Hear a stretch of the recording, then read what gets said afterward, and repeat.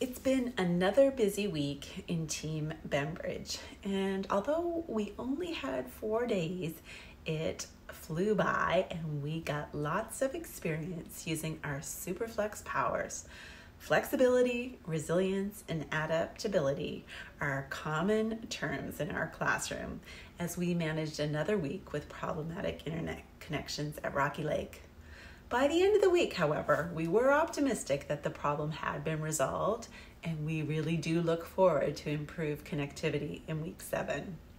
Students are showing great maturity in their weekly reflection of learning.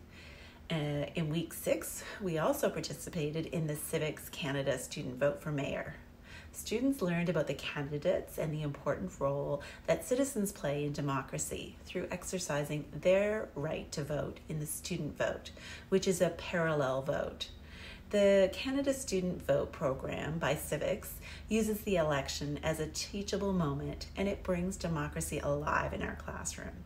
This hands on learning program empowers students to experience the voting process firsthand, and it gives students the opportunity to cast ballots for the official candidates running in the election. So it really does feel like a real election. Students participated in the vote with electronic ballots, and our election results actually mirrored the real election. Although in our class, Max Taylor received more votes than in the real election. He certainly had polished videos which appealed to our younger population. Our experience was a little different this year in our as our regional counselor Tim Outhit was unopposed, so we really only had to research the mayors.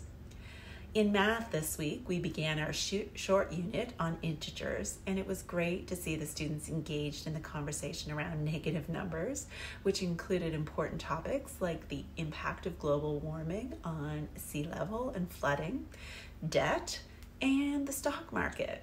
Students bring such worldly perspective to our classroom discussions, and I really wish parents could be a fly on the wall for these amazing classroom conversations we certainly have an engaged group of learners.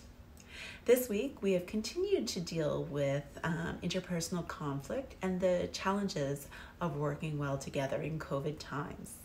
Students are reminded to stop and think first before they say or do something.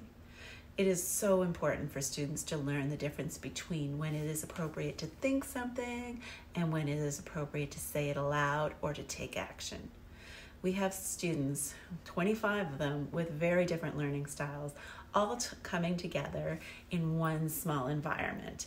And it can be challenging, especially when we are already frustrated or irritated by the new COVID 19 classroom realities. It is important for all of us to remember that not all thoughts need to or should be voiced aloud, and it is really important for students to exercise their social filters and differentiate between whether or not their comments are helpful, kind, or necessary before they share them. That's a, a real skill to develop. And that skill, if they develop it in grade six, will be a lifelong asset that will serve them well going forward. We will continue to work on strategies to reinforce using our social filters, and students will be encouraged to stop and think about the impact of their comments or actions before they actually take action. Um, please be sure to take some time to check out our links below, including the plan for week seven. And as always, if you have any questions, I would love to um, hear them. I've also included a link to a survey so that you can give me some feedback. And I do appreciate you, the parents who have already taken the time to give me that feedback.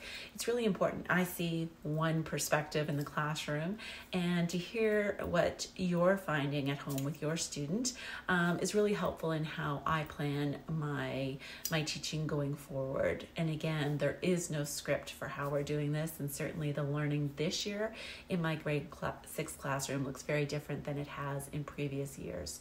So um, please keep that in mind, and I hope you all got out and enjoyed the beautiful weather, fall colors, and sunshine this weekend. Have a great week, and I'll